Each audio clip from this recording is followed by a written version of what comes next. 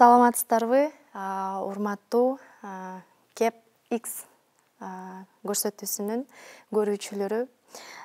Келгиле анда эмесе эркин пикирлешели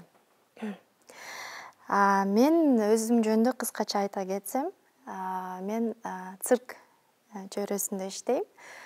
Артист цирка жана режиссер ошондой эле маданият чөйрөсүндө жана спорт чөйрөсүндө дагы машыгып иштеп келем. Мен ушу көп жылдар болду. Чет мамлекетке көп чыгып ушу биздин кыргызстандын желегин көтөрүп ат жалында ойноп ар кандай кыйын трюктарды көрсөтүп ушу биздин кыргызстандын атынан биздин ушу жакшынакай кыргыз аялдардын баягы келбетин жаратып ушу ат жалында жеңил ойноп эркектер менен бирге тең калышпай жакшынакай трюктарды көрсөтүп ушу чет мамлекеттерде биздин желекти көтөрүп көп эле иштеп келгем ушул күнгө чейин менин ушул бир айтайын деген нерсем менин ой жеке ой пикирим. Мисалы мен канча деген бир көп чет мамлекеттерге чыктым. Ал жакта мисалы кытай спортсмени болобу кыргыз спортсмени болобу деги эле африкадан келген спортсмендер болобу. Ар бирөөсүнө баарысына бирдей жакшы шарттар түзүлүп берилет да.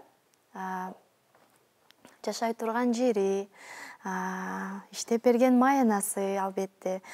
Ошондой эле тамак аш деги эле иштеген жеринин ичинде жакшы бир сонун шарттар түзүлүп берилет.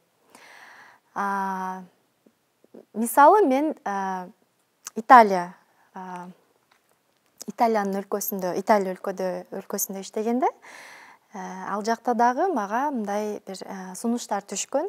Аслан айым сиз ушул италияда калыңыз ушул биздин мамлекеттин желегин көтөрөсүз. Албетте сиздерге эң сонун шарттар түзүлүп берилет деп. Бул бир гана италияда эмес башка дагы чет мамлекеттерде ушундай көп сунуштар түшкөн. Бирок мен ушул күнгө чейин абдан көп эле баягы баш тарткам да мындай нерседен. Жок мен ушу кыргызстандын атынан келген соң биздин кыргызстандын гана желегин көтөрөм албетте.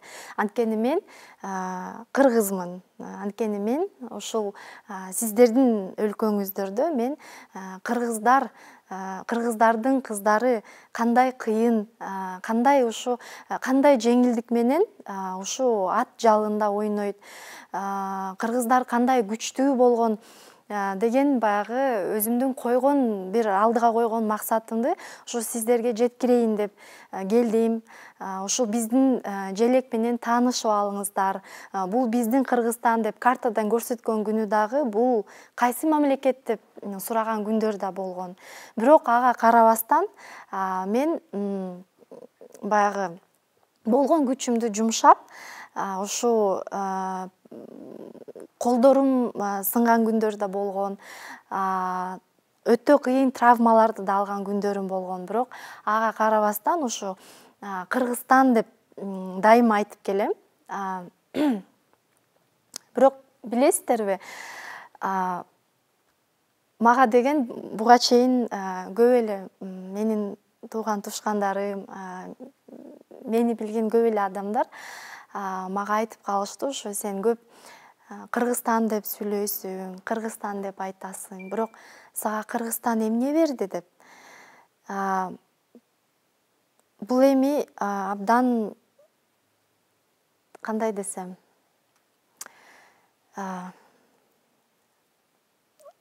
кыргызстан мага жашоо жашоо берди. Кыргызстан бул менин сүйгөн жерим менин сүйгөн мамлекетим.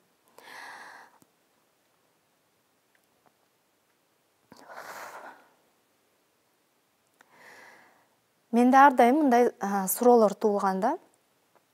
Буга чейин эмне үчүн биздин мамлекеттен жакшы таланттуу спортчулар таланттуу ушул маданият чөйрөсүндө иштеген инсандар эмне үчүн биздин кыргызстандан кетип калат? Эмне үчүн биздин кыргызстандан чыгып кетишет? Кандай таарынычтары болду экен деп дайыма ойлончумун. Кийин мен өзүм түшүндүм. Эмнеге дегенде мына алыс кетпейбиз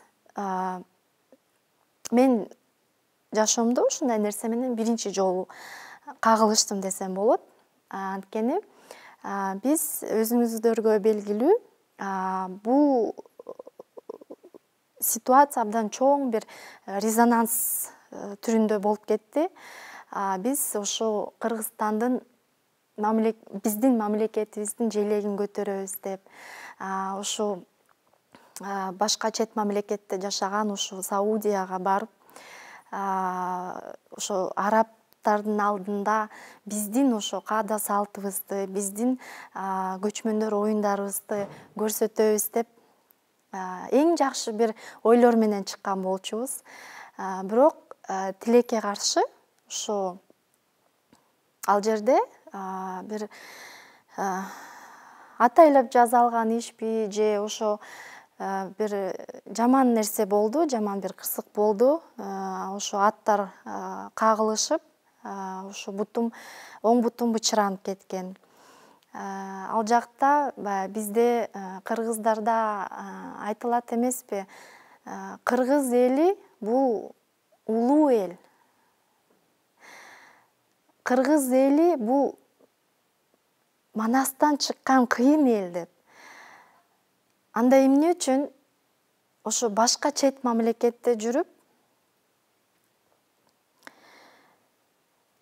биз бир ушундай бир өкүнүчтүү бир окуяга кабыл болдук. Менин айтайын деген жеке оюм жеке менин сөзүм мен ушул жардамды ушул күнгө чейин абдан күттүм эле. Бирок биздин мамлекеттен ушу биздин көчмөндөр оюндарынын конфедерациясынан эч кандай ушул күнгө чейин жардам болгон жок тилекке каршы. Бирок мен дайыма ишенип келем жана дагы билем биздин кыргыз кыздары биздин таланттуу спорт чеберлери жигиттер кыздарыбыз биздин маданиятта иштеген карапайым таланттуу инсандарыбыз маянасы аз болсо дагы эч качан сынбай ушул өзүнүн жасаган жумушун сүйүп иштеген мен ушу спорт жана маданият э, чөйрөсүндө иштеген инсандарга чоң рахматымды айтат элем. Анткени мисалы башка чет мамлекеттерде мындай бир алтын сөздөр бар. Эгер бул мамлекетти кандай экенин билгиң келсе спорт жана маданият чөйрөсүн көрүп ал дейт анткени орустар айтмакчы спорт и культура это лицо страны дейт демек мен ушу биздин мамлекетке кайрылгым келет урматтуу биздин мамлекетте иштеген биздин байкелер эжекелер депутаттар эмне үчүн биздин мамлекетте спорт чөйрөсүнө маданият чөйрөсүнө абдан аз көңүл бурулат албетте жакшы мисалы мугалимдердин маянасын көтөргөн бул эң жакшы деп мен эсептейм. Бирок ошол эле убакта спорт чөйрөсү болобу маданият чөйрөсү болобу. Ар бир нерсе баары тең чогуу көтөрүлүш керек. Анткени биздин мамлекетте ушул эң көп иштеген бирок эң аз маяны алган ушу спорт жана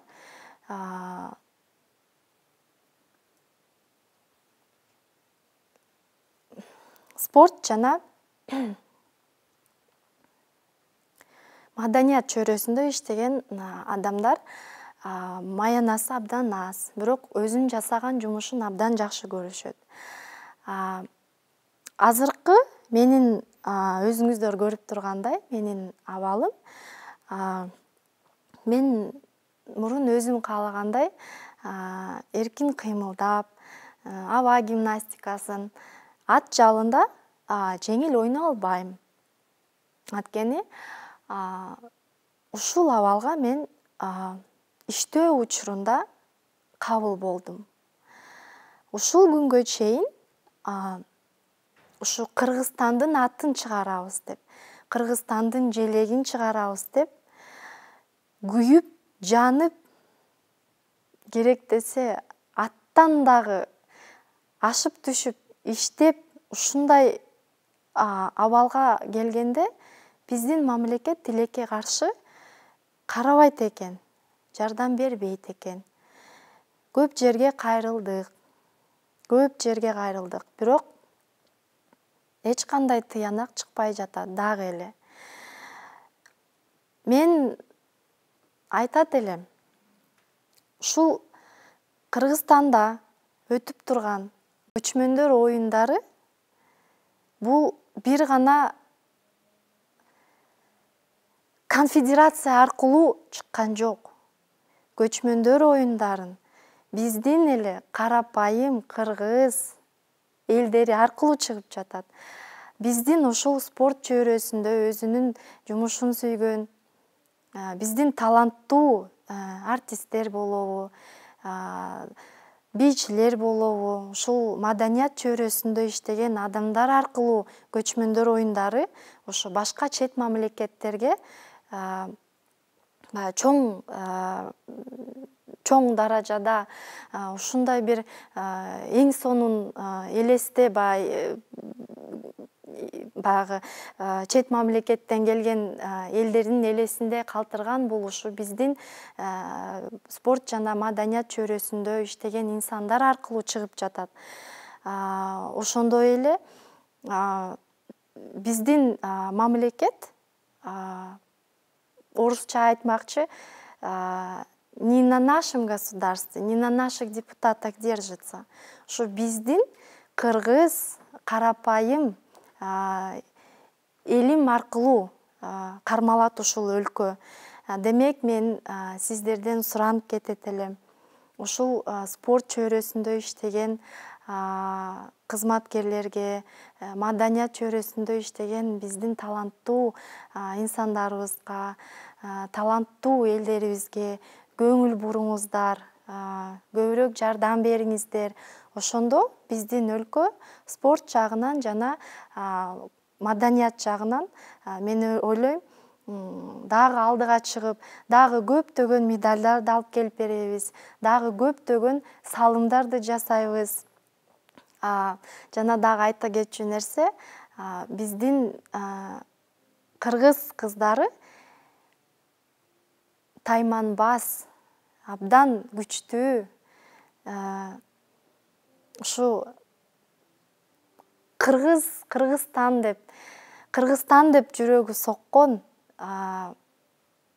алдыга ушу кыргызстанга жакшы салым жасайм алдыга чыгарам деген ушундай биздин спорт жана маданият чөйрөсүндө иштеген инсандарга жардам берүүңүздөрдү жана көңүл буруңуздарды суранамын сиздерден.